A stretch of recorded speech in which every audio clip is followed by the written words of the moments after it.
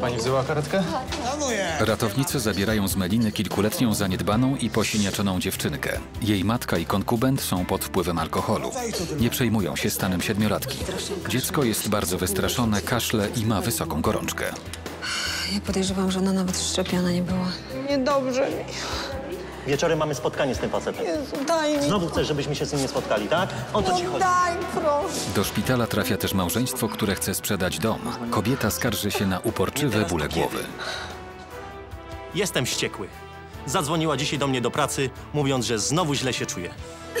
Dobrze się stało, że Ania trafiła tutaj, bo przeciwnym razie mogłaby się po prostu udusić. Zaniedbana siedmiolatka jest w poważniejszym stanie niż na początku przypuszczali lekarze. Ma świerzb i prawdopodobnie jest ofiarą przemocy domowej. Jej matka nie zgadza się na leczenie.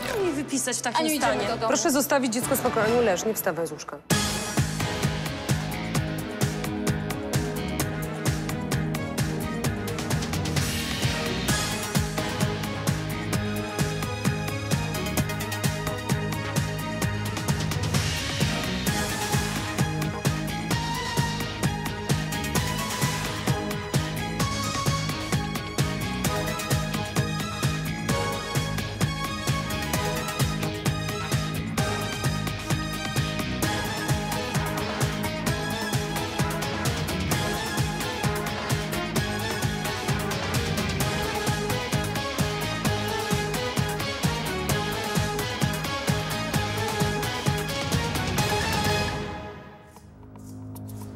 Środa, godzina 10.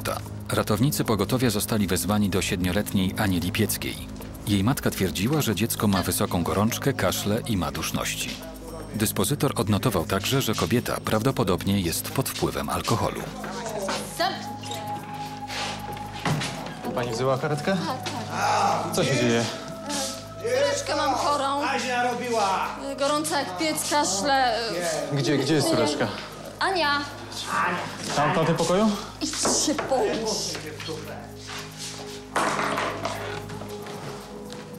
Gdzie ona jest? Ania, gdzie jesteś? Schowała się. Ania.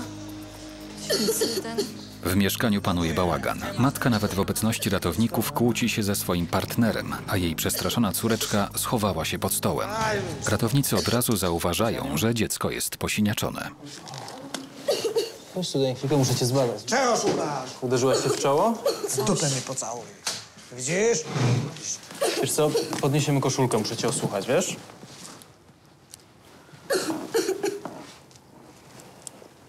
Po co ich tu tyle? A te śniaki?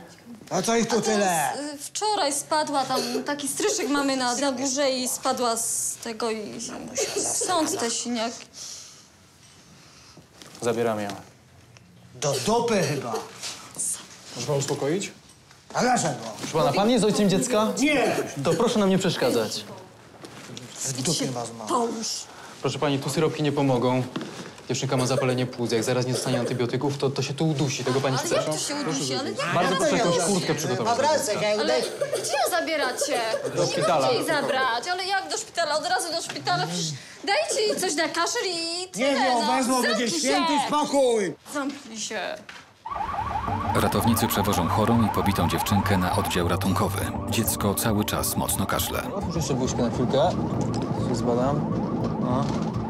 Odwodniona jest, wiesz? Załóż kroplówkę. A ja sprawdzę saturację. Położysz tu paluszek?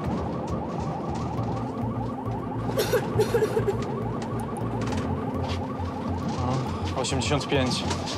Założę tlen. Patrz, Aniu, tu jest taka rurka.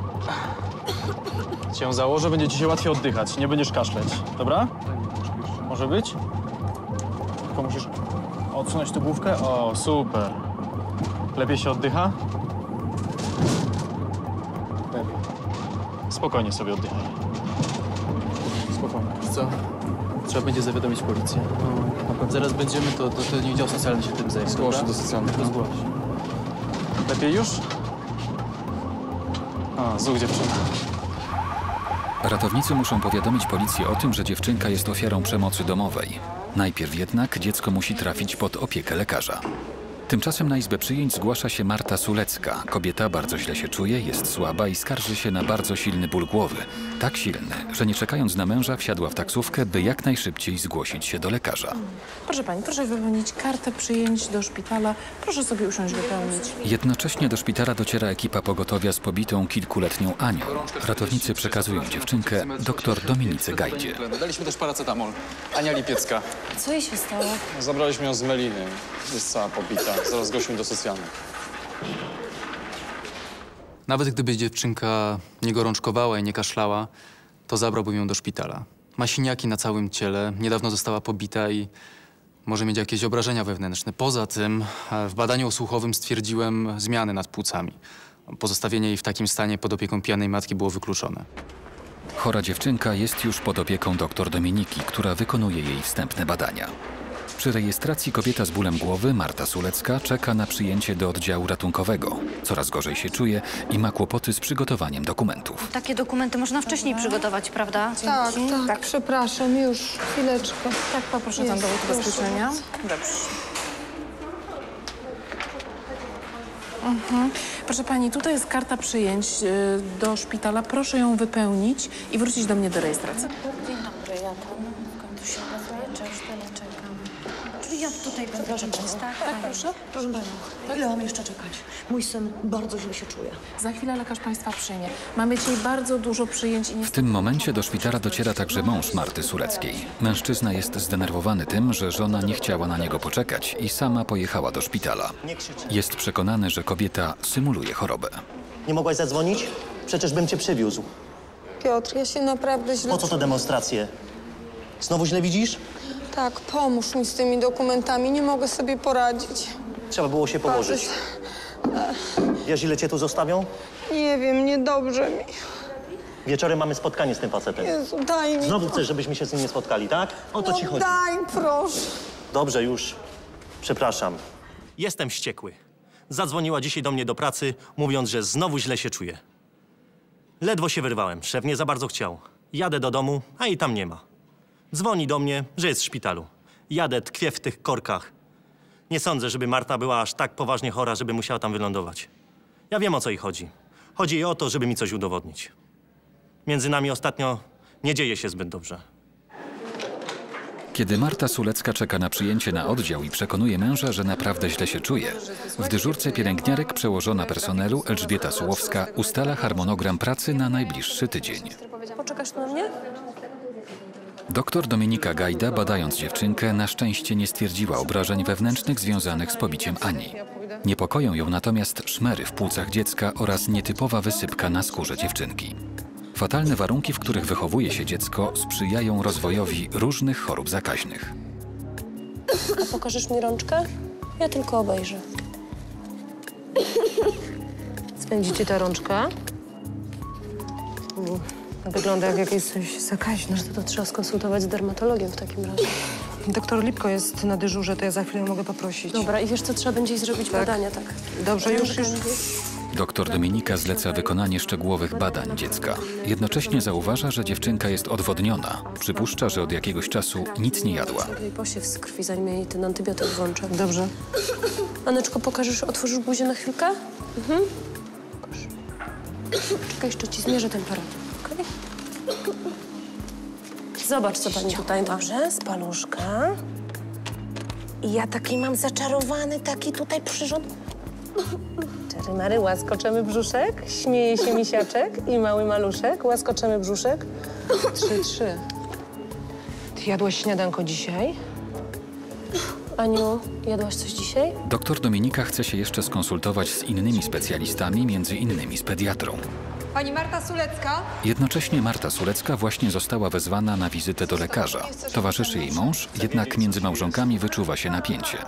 Mężczyzna jest przekonany, że żona symuluje ból głowy, by uniknąć spotkania w sprawie sprzedaży domu, a jemu bardzo na tym zależy. Doktorze, pacjentka Marta Sulecka, wymioty, nudności. Aha. Dzień dobry. Dzień dobry, panie. Pani Marto, co się dzieje? Proszę siedzieć. Nie wiem, panie doktorze, bardzo źle się czuję. Boli mnie głowa, ból promieniuje do oka. Mam wrażenie, że to oko mi za chwileczkę wypłynie. Ciśnienie, tak, tak. Niedobrze mi przy tym. Pewnie się struła. Proszę mi powiedzieć, pierwszy raz się pani tak czuje, czy już takie objawy były?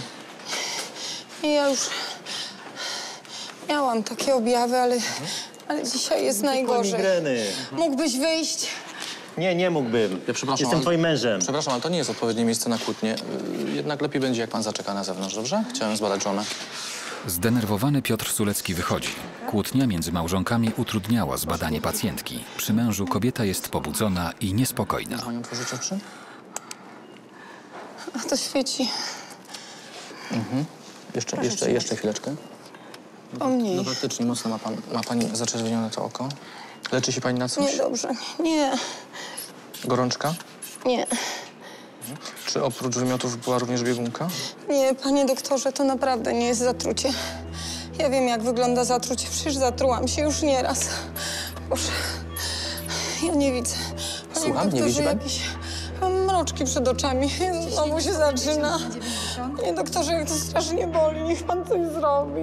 Proszę, proszę się uspokoić. Spokojnie. Pan mi nie wierzy. Dlaczego pani uważa, że pani nie wierzy? Spokojnie, bez nerwów. Ja Niech pani siedzi. Proszę mi dać chwilkę. Podamy pani teraz coś przeciwbólowego. Podaj pani przeciw, przeciwwymiotne i przeciwbólowe dożylnie, tak. Objawy pacjentki są dość nietypowe. Jest pobudzona i zdenerwowana. Myślę, że ma to związek z jej mężem. Od razu wyczułem między nimi jakiś konflikt. Chociaż nie bagatelizowałbym jej stanu, tak jak robi to jej mąż. Ona się boi, jest zde- zdezorientowana, nie wie, co się z nią dzieje. Na razie zleciliśmy podstawowe badania i czekamy na wyniki. Na oddziale pojawia się matka zaniedbanej i bitej dziewczynki. Dziecko nadal jest w złym stanie, a kobieta awanturuje się. Co pani myśli? Że jestem jakąś niedobrą matką albo co? Nie teraz, to kiedy?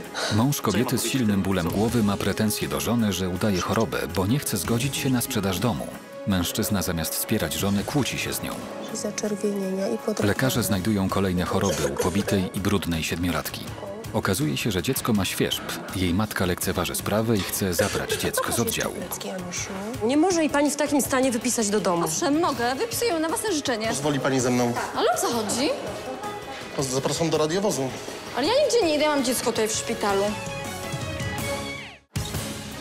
Meliny ratownicy zabierają kilkuletnią, zaniedbaną i posiniaczoną dziewczynkę. Jej matka i konkubent są pod wpływem alkoholu. Dziecko jest bardzo wystraszone, kaszle i ma wysoką gorączkę. Niedobrze mi. Wieczorem mamy spotkanie z tym facetem. Jezu, daj mi. Znowu chcesz, żebyśmy się z nim nie spotkali, tak? Zadzwoniła dzisiaj do mnie do pracy, mówiąc, że znowu źle się czuje. Do szpitala trafia też małżeństwo, które chce sprzedać dom. Właśnie teraz powinni podpisywać umowę. Jednak kobieta skarży się na uporczywe bóle głowy. Mąż nie wierzy jej. Jest przekonany, że kobieta udaje, żeby nie doszło do sprzedaży domu. Ja przepraszam, Jestem ale, twoim mężem. przepraszam, ale to nie jest odpowiednie miejsce na kłótnię. Jest pobudzona i zdenerwowana. Myślę, że ma to związek z jej mężem. Od razu wyczułem między nimi jakiś konflikt. W czasie, kiedy dr Eryk zleca wykonanie badań Marcie Suleckiej, do szpitala przychodzi matka pobitej dziewczynki. Ratownicy, którzy zabrali dziecko z Meliny, zgłosili sprawę do działu socjalnego szpitala, ponieważ mają podejrzenia, że dziewczynka była bita przez któregoś z opiekunów. Pani Elu, przepraszam bardzo, Tak? pani Elu. E, tutaj jest mama tej dziewczynki, którą przed chwilą przywieziono, pani Lipiecka. Aha. Y, Proszę sobie usiąść, na chwileczkę zaczekać, dobrze? Dobrze. Jak lekarze zbadają córkę, to ja panią zawołam. Tymczasem dr Eryk chce poinformować Piotra Suleckiego o badaniach, na które została skierowana jego żona. Mąż pacjentki nadal ma nadzieję, że kobieta szybko opuści szpital. Panie doktorze, Słucham. Proszę chwileczkę zaczekać, rozmawiam. E, skierowaliśmy żonę na podstawowe badania i na tomografię. Może pan zaczekać pod pracownią, porozmawiamy po, po badaniach. No dobrze.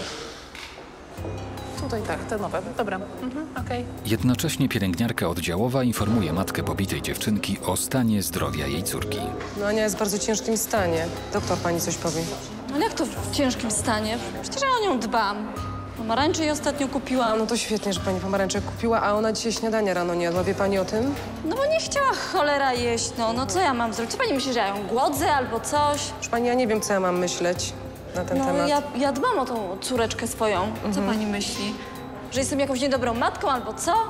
Może, może ostatnio mnie nie było y, w domu, ale mój znajomy, który z nami teraz ostatnio mieszka, się nią zajmował. To, to może on nie dopatrzył pani jak to chłop. E, To jest mama Ani. E, Proszę pani, pani będzie musiała chwilę zaczekać, dobrze? My najpierw zajmiemy się Anią. No ale wie, wie pani, no, wie pani jak to z dzieckiem, no.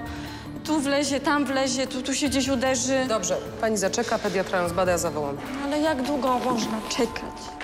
Czasem przywożą do nas dzieci, które gdzieś się uderzyły, spadły z przewijaka, doznały jakiegoś urazu. Ich rodzice są wtedy przerażeni i mają do nas pretensje, gdy dopytujemy się, czy to naprawdę był wypadek. Ale ta dziewczynka jest naprawdę pobita. Tu nie trzeba być lekarzem, żeby to od razu zobaczyć. Jej matka może sobie opowiadać te wszystkie bzdury, ale odpowiedzialności nie uniknie. Jak można dziecko doprowadzić do tak ciężkiego stanu? Ja w ogóle nie rozumiem, czego ode mnie chcą. Przecież dbam o dziecko.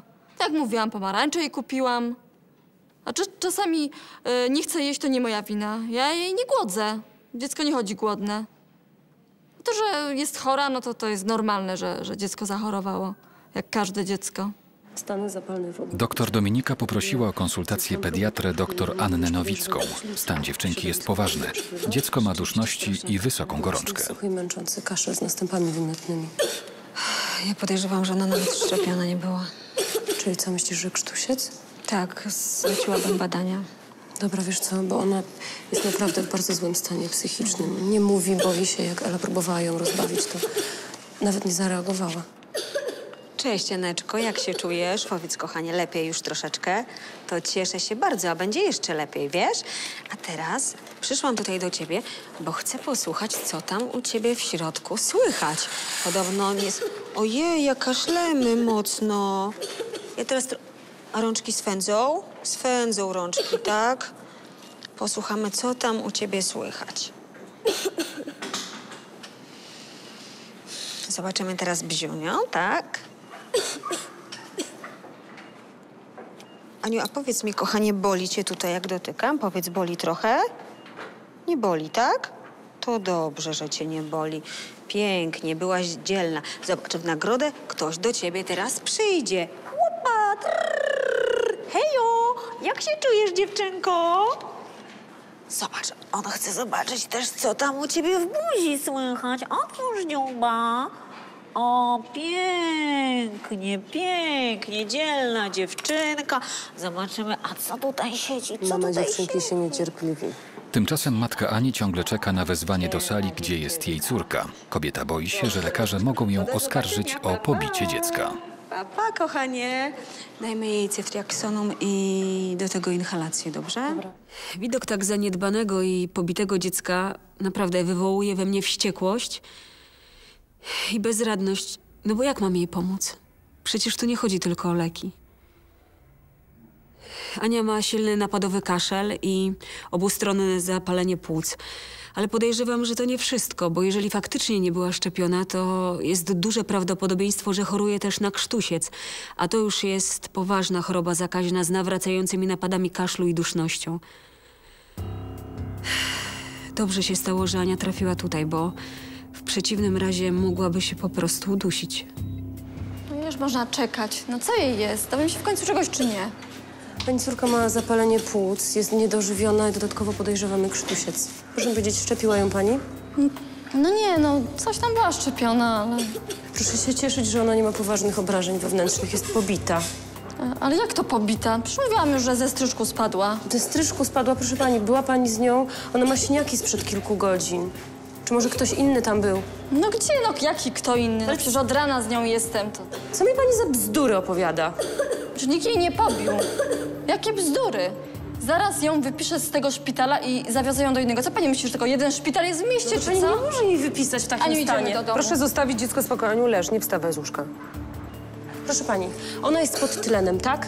Jest pod kroplówką. Nie może jej pani w takim stanie wypisać do domu. Owszem, mogę. Wypisuję ją na własne życzenie. Proszę pani, niech pani o niej w końcu pomyśli, dobrze? Dziecko już jest dość zdenerwowane.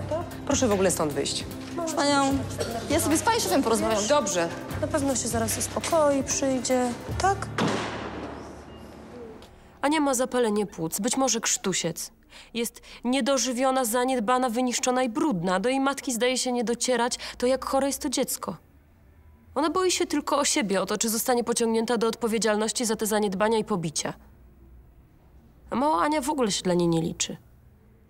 Matka Ani nie zamierza wcale złożyć skargi do ordynatora. Zostawiła córeczkę pod opieką lekarzy i chce wyjść z oddziału. Potrzebuję książeczkę zdrowia dziecka i książeczkę Ja w szczepień. sprawie Ani Lipieckiej.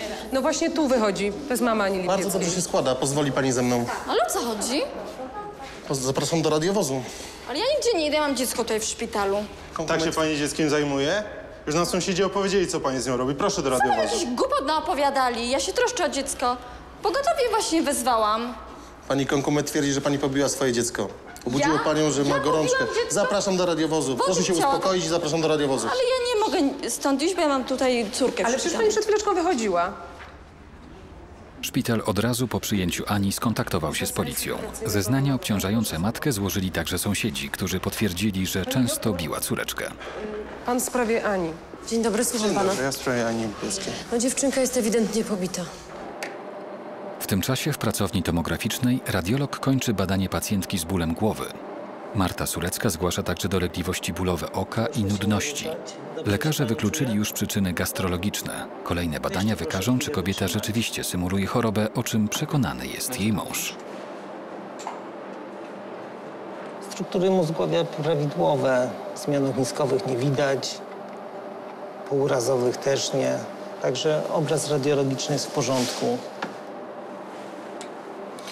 To nie wiem, gastrologicznie też jest wszystko w porządku. Dobra, no to kończymy to badanie.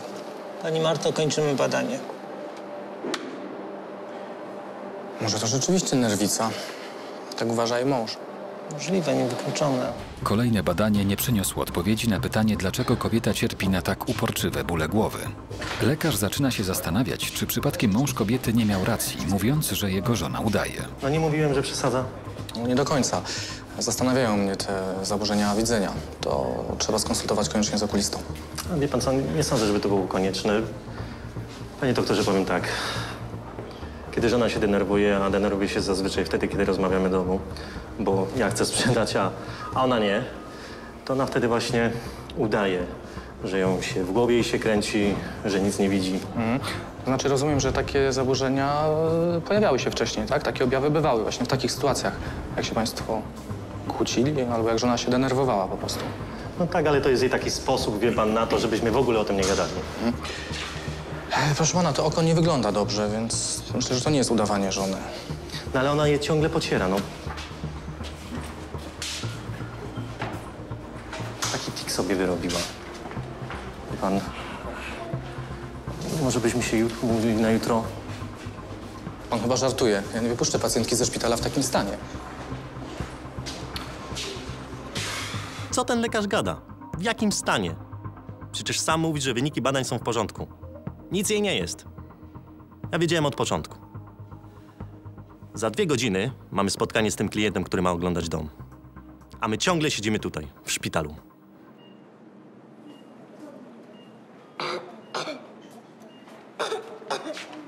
Jak ta mała kaszle. Okazuje się, że wyniki badań Marty Suleckiej są w normie. Od podania leków przeciwbólowych upłynęło już trochę czasu. Jednak kobieta nadal twierdzi, że ból głowy nie ustąpił. Jej mąż tym bardziej jest przekonany, że zgłosiła się na oddział ratunkowy, by uniknąć sprzedaży domu. Po prostu w stanie przyjechała strasznym. Wszyscy tu koło niej chodzą, ale brudna i lekarz. I co? E, Są już wyniki e, tomografii, ale tak musimy to wszystko jeszcze skonsultować z okulistą. Są okej? Jak dla mnie tak, ale tak jak mówię, konsultacja okulisty jest konieczna. Są wyniki twojej tomografii. Wszystko w porządku. Jak to nic? I od żołądka też to nie jest. Marta, jeżeli nie chcesz sprzedać tego cholernego domu, to po prostu powiedz, a nie rób tutaj afery. Choć nadal uważam, że jest to bardzo dobry pomysł. Iwo się wyprowadził na studia. To na cholerę nam taki wielki dom. Ja naprawdę teraz nie mogę. Nie teraz, to kiedy? Co ja mam powiedzieć temu kupcowi? Że nic z tego? Facet kredyt bierze. Słuchaj, daj mi spokój, po prostu zrób co chcesz. Jak zrób co chcesz? Przecież to ma być nasza wspólna decyzja. Milion razy ci już mówiłam, że ja nie chcę sprzedawać tego domu. Co z tego, że Iwo się wyprowadził? Ja kocham ten dom. On jest wart dlatego tylko tyle, że to ja go urządziłam. Ja dbałam o ogród. Ja kupiłam meble. Boże, daj mi spokój. Jezu, jak No to co? boli. Tak, to my nic nie załatwimy. Już nie mam siły. Jest mi tak przykro. Mnie tak boli, a Piotrek w ogóle nie przejmuje się moim stanem. Odkąd usłyszał, ile możemy dostać za sprzedaż naszego domu, o niczym innym nie mówi. Zachowuje się jakby oszalał. Boże. Kompletnie mu odbiło. Proszę się położyć. Dziękuję. Tak Pielęgniarka oddziałowa przyniosła z oddziału dziecięcego piżamkę dla pobitej dziewczynki. Chce, by dziecko oswoiło się w nowym miejscu. Mała Ania jest tu sama, z nikim nie rozmawia i jest przestraszona. Cały czas kaszle i jej stan nie poprawia się. Nie. Piesek? No to może koziołek. Nie. Misiek, tak? Fajny? Podoba ci się? Fajny. O, Ze względu na nietypowe zmiany na skórze dziecka, dr Gajda poprosiła także o konsultację dermatologa, dr Sylwię Lipko-Godlewską. Pani doktor, ona cię zbada, dobrze? Tak? Anieczko, wiesz co? Ja leczę skórę i słyszałam, że masz jakieś plamki na rączkach. Mogę sobie je oglądnąć bliżej? One cię swędzą? A w nocy też cię bardzo swędzą? A masz jeszcze gdzieś takie same zmiany? Pokaż mi gdzie. Na brzuszku? No i zobaczcie, tutaj też i zaczerwienienia, i podrapane, i troszkę grudek. O, mama. A pokaż jeszcze plecki, Anusiu. Co? No chyba świeżb mamy. Myślę, że zależy nam na szybkości diagnostyki, to może wykonałybyśmy taki stary test z błękitem. Dobrze, to jedę po nalewkę jodową. A pokaż mi jeszcze, ja sobie zobaczę. Lekarka podejrzewa, że dziewczynka choruje na świerzb, którym mogła zarazić się w brudnym mieszkaniu. Poza tym jej matka rzadko myła córkę, a to dodatkowo sprzyja rozwojowi takich chorób. U Ani podejrzewam świeżb. Zmiany, które widziałam, były w typowych dla tej choroby lokalizacjach. Między palcami, w okolicach nadgarstka, w zgięciach stawowych i w okolicy pępka. Dziewczynka skarżyła się również na świąt. Poleciłam wykonanie próby z błękitem. Po kontakcie z jodyną w naskórku powinny uwidocznić się tunele wykonane przez świeżb. A tak poza tym dawno nie widziałam już tak zaniedbanego dziecka. Strasznie żal mi jej. No i jak?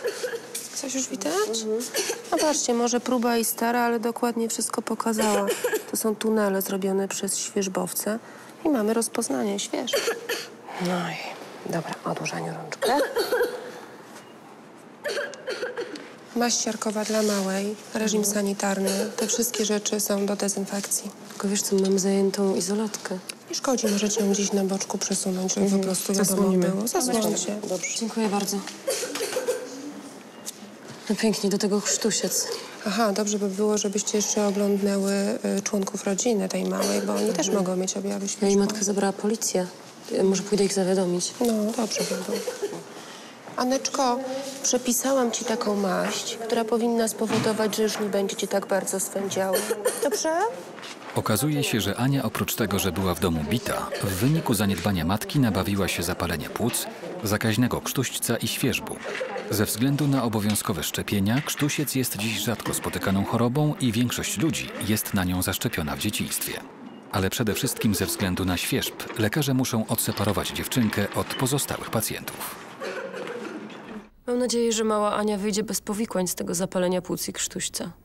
Świeżb wyleczymy, ale co z tego? Sprawę przejęła policja i matka została zatrzymana. Ja nie wiem, co dalej z nią będzie. Tymczasem dr Eryk Weiman konsultuje z okulistą wyniki badań swojej pacjentki. Kobieta skarżyła się na ból w prawym oku i zaburzenia widzenia. Lekarze nadal nie wiedzą, czy są to objawy na tle nerwowym, czy wskazują na jakąś inną chorobę. A proszę mi powiedzieć, czy te zaburzenia widzenia zdarzały się również przy przykaszonym świetle? Mm, Nie wiem, nie mówiła mi, natomiast jestem pewny, że pojawiają się na tle nerwowym. Widziałem jak... Przepraszam, pan może do żony? Tak, ale proszę zaczekać. Widziałem, jak reagowała stresująco na badaniach. Proszę, to jest pani Sulecka. Dobrze. Dzień dobry, jestem okulistką, nazywam się Karina Adamczyk, już panią zbadam. Dzień dobry, nareszcie. Proszę odchylić głowę, dobrze? Otworzyć oczy na chwilę.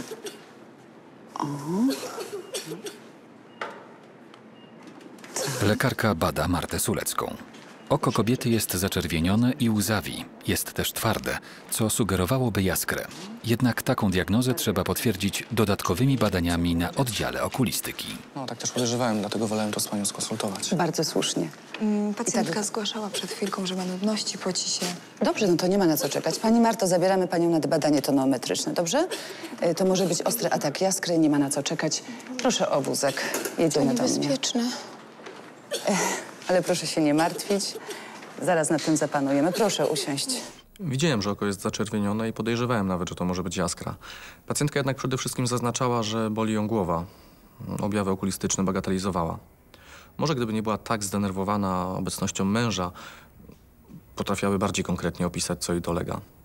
Zaraz będziemy wiedzieć, czy to ostry atak jaskry. Jeśli tak, to trzeba będzie działać naprawdę szybko. Jaskra to popularna wada wzroku. Jeszcze do niedawna sądzono, że na jaskrę chorują osoby powyżej 40 roku życia. Teraz okazuje się, że może zachorować dosłownie każdy. Młodzież, dzieci. Jaskra może nawet doprowadzić do utraty wzroku, jeśli jest nieleczona. Problem polega na tym, że wielu chorych, tak jak pani Marta, po prostu nie wie, że choruje na jaskrę. I czasem może być za późno. Aby potwierdzić objawy ostrego ataku jaskry, lekarze wykonują badanie tonometryczne. Polega ono na zbadaniu ciśnienia wewnątrz gałki ocznej, które prawidłowo powinno mieścić się w granicach od 10 do 21 mm słupa rtęci. Tak. Ciśnienie 50 mm słupa rtęci. To jaskra? Tak. Ale zaraz nad tym zapanujemy. Teraz jeszcze zbadam pani ciśnienie w drugim oku. I już. Ale przecież mówił pan, że mogę stracić wzrok. Spokojnie, gdybyśmy nie obniżyli ciśnienia. Ale zaraz to zrobimy. Y, Leki przeciwbólowe, miejscowo leki obniżające ciśnienie, beta-blokery w kroplach, acetazolamid doustnie i manitol. Mhm. No a zaraz jak ciśnienie opadnie, to pilokarpinę, żeby zwęzić źrenicę. Tak jest. Pani Marto, widzimy się jutro po południu, dobrze? Teraz dostanie pani leki, wszystko się uspokoi, będzie pani mogła wrócić do domu. A jutro wykonam u pani zabieg irydotomii. Proszę teraz się zgłosić do rejestracji, ustalimy godzinę. A co to takiego ta irydotomia? To właśnie ten zabieg, który pomoże nam obniżyć ciśnienie wewnątrzgałkowe. Pani doktor nakłuje pani lekko tęczówkę, dzięki temu mm, przez otwór ciecze wodniste będą mogły swobodnie przepływać między komorami. Po prostu musimy zapobiec uszkodzeniu siatkówki i niestety zabieg musimy przeprowadzić na obu oczach. Boże, to niebezpieczne. Nie, po prostu niezbędne. Proszę teraz usiąść na wózek. Najważniejsze, że przestanie panią boleć, prawda? No tak. No. Do zobaczenia do jutra, pani Marto. Dziękuję, do zobaczenia. A pan jest w trakcie jakiej specjalizacji? Kardiologii. Szkoda. Siedmioletnia Ania, przewieziona na oddział ratunkowy z Meliny, czuje się coraz gorzej. Lekarze ustalają, że kobieta z silnym bólem głowy nie udaje swojej choroby. Jaskra. Jutro będę miała zabieg. Mąż chorej kobiety nareszcie wierzy żonie. Jest mu głupio, że nie wspierał jej w chorobie. Pacjentka musi zostać na oddziale i przejść skomplikowany zabieg oczu. Czy małżonkowie dojdą do porozumienia w sprawie sprzedaży domu? Tymczasem pobita siedmiolatka przechodzi kolejne badania. Wkrótce znika z oddziału. Lekarze muszą natychmiast znaleźć dziecko, bo jego stan jest poważny. Dziewczynka musi być pod stałą obserwacją. Czy porwała ją matka alkoholiczka, która zaniedbała córkę i nie chciała, żeby lekarze leczyli jej dziecko? Co pani myśli? Że jestem jakąś niedobrą matką albo co?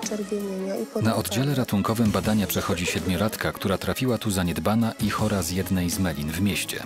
Dziewczynka ma świerzb, a lekarze odkrywają, że jest bita. To na cholerę nam taki wielki dom. 45-letnia kobieta z bólem głowy kłóci się z mężem o sprzedaż domu. Mężczyzna jest wściekły i przekonany, że żona udaje, żeby uniknąć sprzedaży. Nie może jej pani w takim stanie wypisać do domu. Owszem, mogę. Wypisuję na własne życzenie. Pozwoli pani ze mną? Ale o co chodzi? Zapraszam do radiowozu. Kobieta z bólem głowy przechodzi badania i okazuje się, że nie udaje. Rzeczywiście jest chora. Mówił pan, że mogę stracić wzrok. Jaskra. Okazuje się, że mąż pacjentki jednak nie miał racji, twierdząc, że jego żona udaje chorobę. Badania potwierdziły, że Marta Sulecka cierpi na ostry atak jaskry. Kobietę czeka poważna operacja. działać, to właściwie mogę panią przenieść na okulistykę. Także zostaje. Nie mogę w to uwierzyć. Kompletnie się tego nie spodziewałem. I to w obu oczach. Muszę sprawdzić, czy to jest niebezpieczne. Marto, podłączymy kroplówkę. Pielęgniarka podaje Marcie Suleckiej leki, dzięki którym oko przestanie ją boleć i kobieta będzie mogła zostać przygotowana do zabiegu. Jej mąż jest zmieszany, jest mu głupio, że nie uwierzył żonie i nie wie, jak ją przeprosić za swoje nieuzasadnione podejrzenia. Chcesz spać? Nie, nie zasnę. Marta, dzwoniłem po Iwa. Przyjedzie. Niepotrzebnie. Marta, przepraszam. Umówiłeś nas już z tym kioskiem? Powiedziałem mu, że na razie nie, że jesteś w szpitalu. Dobrze. Umówimy się z nim po moim zabiegu. Ja już nie mam siły na kłótnie. No nie wiem. Nie wiem, czy to jest dobry czas na zmiany. Ty musisz odpocząć.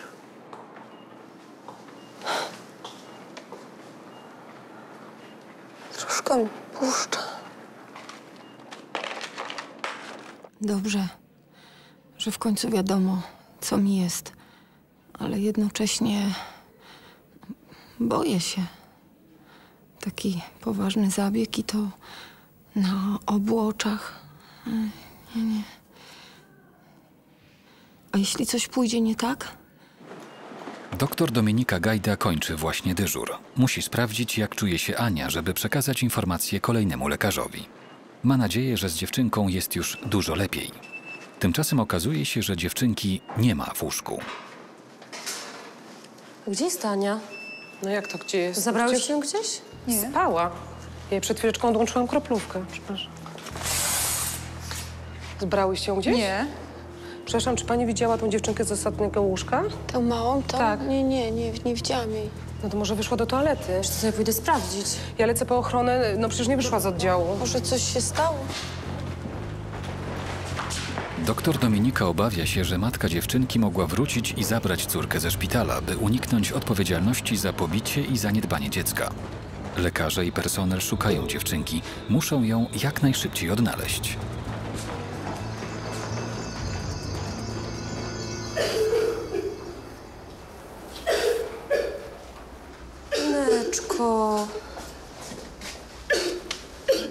Malutka. Czemu nam uciekłaś, co? Wiesz przecież, że chcemy, żebyś była zdrowa, tak? No nie płacz, malutka, nie płacz. Pójdziemy teraz do łóżka, dobrze? Pójdziemy do łóżka, a potem ja ci obiecuję, że przeniesiemy cię na, takie, na taki oddział dla dzieci, gdzie jest ich dużo, będziesz się mogła bawić i będzie wesoło, dobrze? Tak? No. Naprawdę, ja przez chwilę myślałam, że ta mama przyszła i ją zabrała, tak jak się odgrażała, że ją wypuścili. No ale na szczęście mała Ania się znalazła. Ja muszę ją jak najszybciej zabrać na pediatrię. Wcześniej nie pozwalał nam na to jej stan, ale teraz już jest lepiej. A tam są dzieci, jest kolorowo, są zabawki, na pewno poczuje się bezpieczniej. Dziewczynka wraca na oddział. Tymczasem Marta Surecka poczuła się lepiej. Zgodnie z zaleceniami lekarzy trafi teraz na oddział okulistyczny, gdzie za kilkanaście godzin odbędzie się zabieg irydotomii, czyli laserowego obniżenia ciśnienia w oku. Mąż wspiera żonę. Odłożył także decyzję o sprzedaży domu. I spróbuję dępić, bo strasznie No kaszle, wiesz? tak? I... No to dobrze. Przepraszam, czy ta mała może się napić? Ja chciałam jej dać troszkę pić. Przepłuczę gardło. Bardzo proszę. Mam coś dla niej. Ja rozumiem, tylko... Proszę mi No pozwolić. to naprawdę, ale wyjątkowo. Dobrze. I niech pani ubierze rękawiczki. Ale oczywiście. Siedzi dużo od niej daleko. Dobrze, dobrze, nie będę siadać. Marta Sulecka bardzo przejęła się losem małej Ani. Poprosiła męża, żeby na oddział przyniósł ulubioną kiedyś zabawkę jej syna. Chce choć trochę pomóc dziewczynce. Tak, to jest dla niej. Czekaj.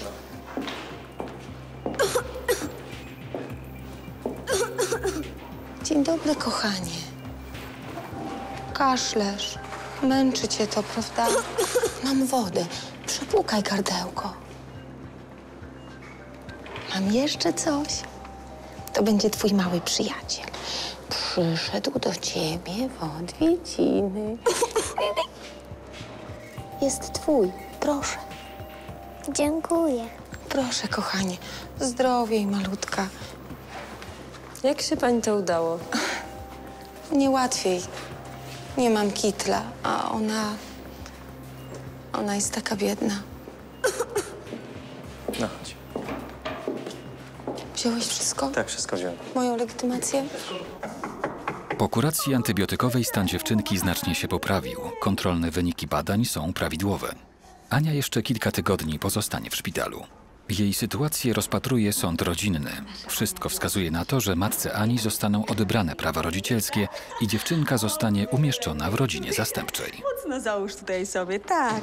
Wyniki też masz bardzo piękne, wiesz? Wszystko będzie dobrze. A jak tutaj się czujemy dobrze? Super, zobaczcie. I znowu ptaszek. Rączki zamieniają się w ptaszka i co robią? Odlatują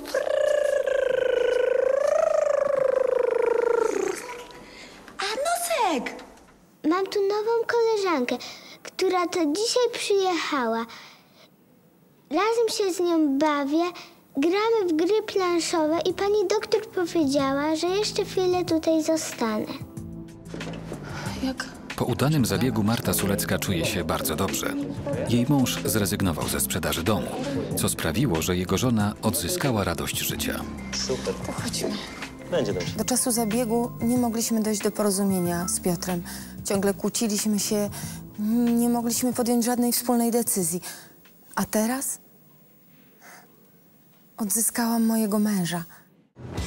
Wózek można prosić? Ela, Ela, wózek. Na szpitalny oddział ratunkowy zostaje przywieziona starsza kobieta podejrzana o zabójstwo zięcia. Jeśli stan zdrowia kobiety jest poważny, nie będzie mogła zostać aresztowana. Oni nie mogą mi zabrać do więzienia, nie mogą! Ja muszę się z nią zobaczyć. Prosto z wycieczki szkolnej przyjeżdża także dziesięcioletnia dziewczynka z napadem duszności. Musi zawołać lekarza, ona się udusi. Wczoraj w sumie trochę kaszlała i, i miała wieczór gorączka. Gorączka nic mi o tym nie mówiłaś. Poprosiła, żebym ci nie mówiła. Nie puściłby się na tę wycieczkę. Na pewno by nie pojechała. My wiemy, że... Lekarze podejrzewają, że powodem stanu zdrowia dziewczynki mogą być zaniedbania jej rodziców, którzy dużo pracują i często się kłócą. Jesteś morderczynią, odpowiesz za wszystko. Nienawidzę cię. Tymczasem córka zatrzymanej kobiety oskarża matkę i syna o spisek przeciwko jej mężowi. O nie, przyznasz się teraz tutaj i teraz. Do wszystkiego się przyznasz. Бабцю,